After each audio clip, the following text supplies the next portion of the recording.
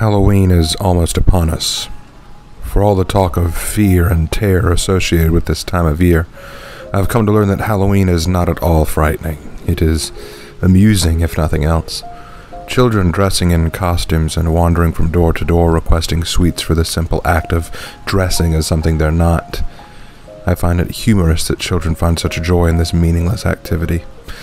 However, as I've stated previously in another entry, meaning is found in the most trivial of things to the right people, and to children, something mundane might be the most important thing of all.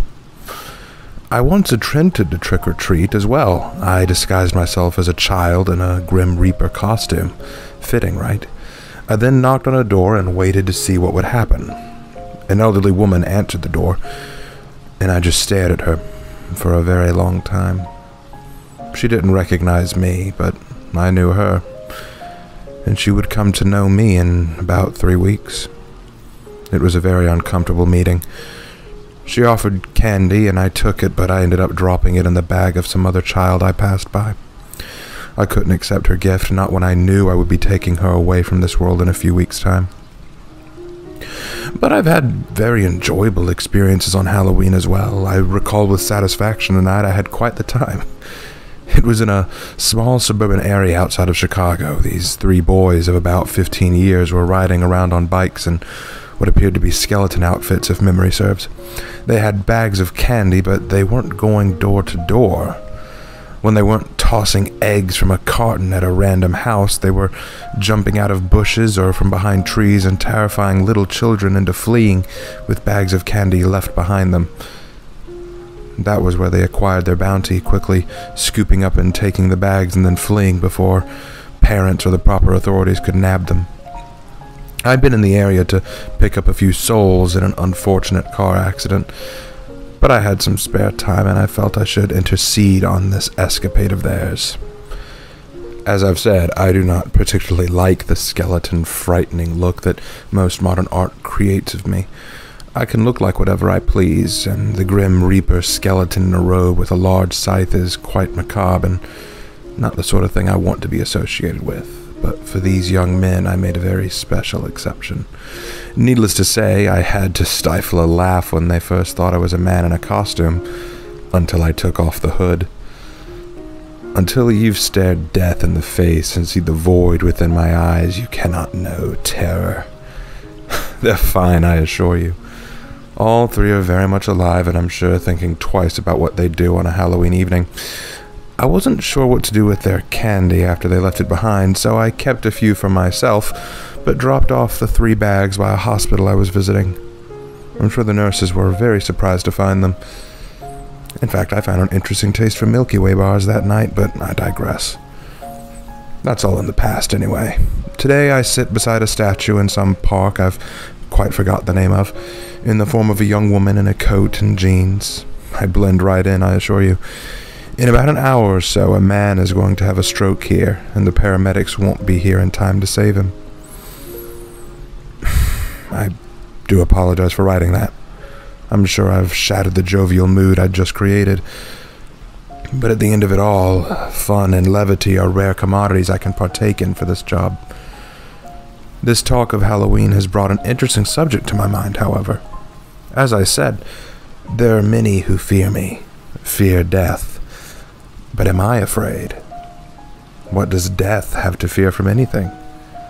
I am the end of mortal existence. I'm the final punctuation mark on the book of life. Who is more frightening than I? It is not who I am frightened of, it is what. I'm frightened more than anything of the responsibility I carry. The reality that, at any time and in some way, I will be called to perform my task in a more direct and large manner. Once there was a great flood, and for forty days I was reaping the souls of those who did not know how to swim. Another day I was in Hiroshima, and shortly after that, Nagasaki, cleaning up the closest depiction of hell I had ever witnessed. There was a plane that crashed into a pair of towers that forced me to work quickly and carefully for hours upon hours. And to this day, I'm still cleaning up after that incident. All of those I'm sure I will discuss in more detail someday, but for now my mind is locked on Egypt. And the day God called me to do that once mighty and matchless kingdom the greatest justice it had ever known.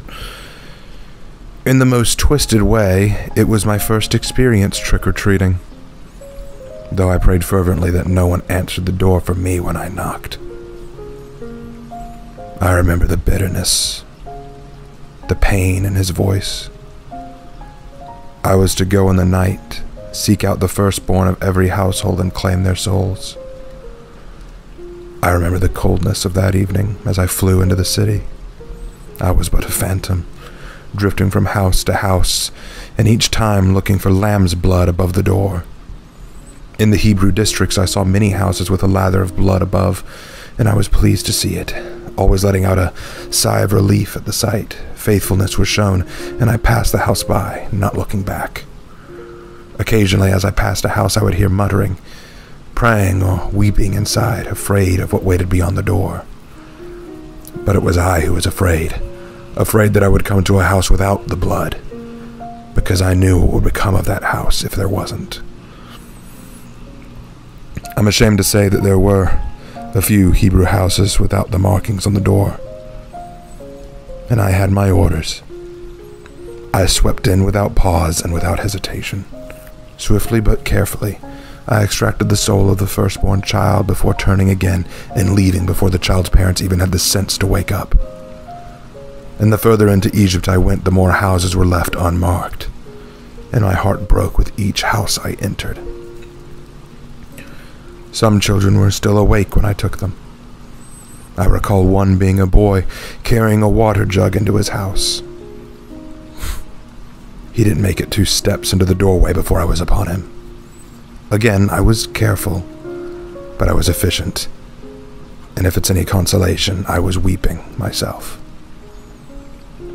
I did not relish my work that night. I did not enjoy the task I'd been given. It was one of the most painful I had ever had to commit. So many in Egypt were suffering. So many wails in the night. It was as though I were wandering through some haunted graveyard. As if angry spirits were gnashing and wailing in rage and in mourning. When I finally came to the Pharaoh's palace, there were guards posted. But the sight of me sent all of them running for their lives. I did not pursue them, they were not who I was seeking. I had little interest. Although, now that I think about it, I approached the room of Pharaoh's son, and there was one god who stood in my path. With quaking knees, he raised his spear to me, a feeble attempt to stall me. I didn't even slow down as I brushed past him, his soul in my arms before he even struck the floor.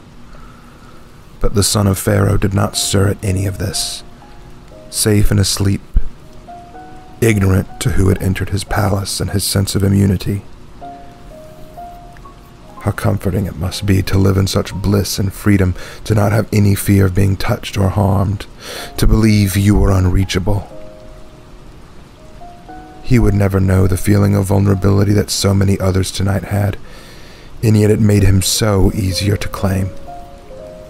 After hours of tiring work, I flew from the city with thousands of souls in my weary arms and behind me the howls and mourns of the Egyptians and unfaithful followed me into the heavens. I did not look back down at the world as I went. I simply tried to block out the lamentation. As I delivered the souls of the children, I collapsed and wept outside of heaven's gate. I had felt such fear and pain that night. Fear at the knowledge of my actions, fear at the cold efficiency with which I performed it. I had truly been the essence of my craft. I had devastated families as simply as snuffing out a candle. I knew it was for just reasons. I knew it was at the will of the Creator. I do not lament or regret the necessity of the task, but what terrifies me is the fact that I had to do it, and the fact that it was so cold. How easily I can bring pain and agony to this world. How horrifying it must feel to believe I am knocking at the door of someone's house.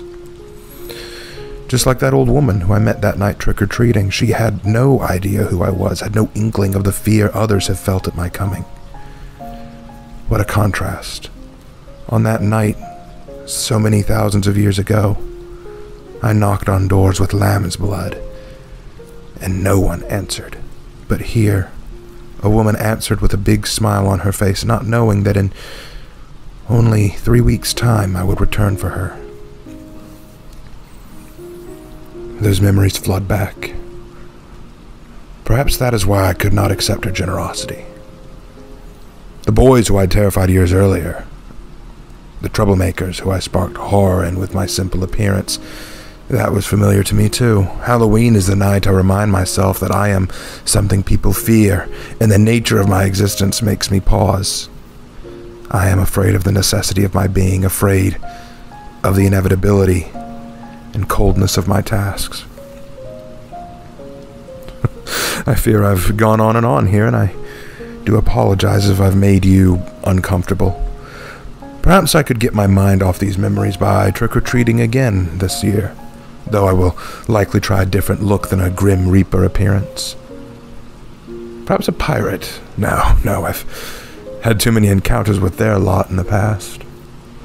A doctor, maybe. I'll have to think on that more. But later. For now, I hear my next appointment on its way. I'll write again when I have the time. Sincerely, Death.